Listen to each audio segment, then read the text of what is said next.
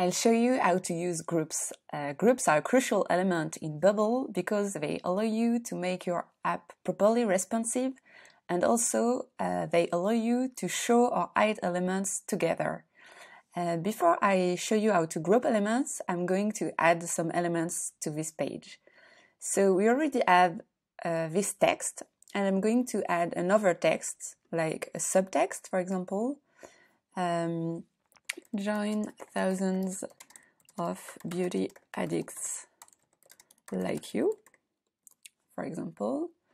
And I'm going to add also an image here. Uh, so I just take the image element and draw it on the page and I'm going to choose a static image and click on upload and just choose an image on my desktop.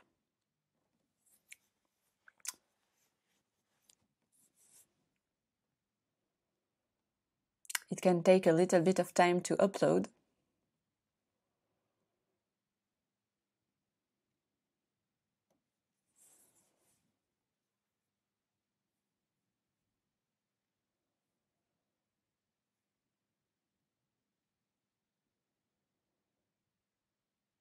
Okay, so now uh, we have uh, a few elements.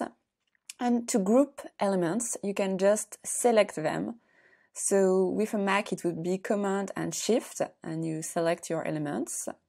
And you can either group them from the property editor by clicking on group these elements into a group, or you can just uh, do a right click and select group elements in a group.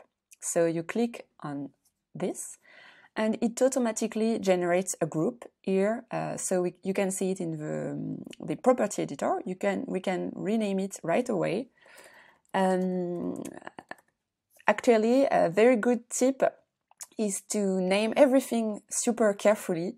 Uh, your future self will really thank you um, because all the elements will appear here in the element tree and if you name them properly it will make your work much more easier much more much easier uh, especially when you are going to define your workflows. Uh, if you if all the elements have the same name, it will be very complicated for you to work.